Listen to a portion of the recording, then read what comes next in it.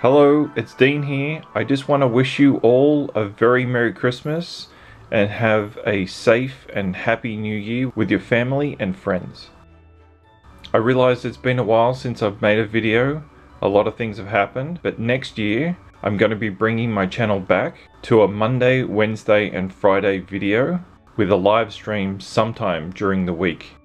I'm also going to be doing a lot more experiments and melt and pour along with my cold process soaps.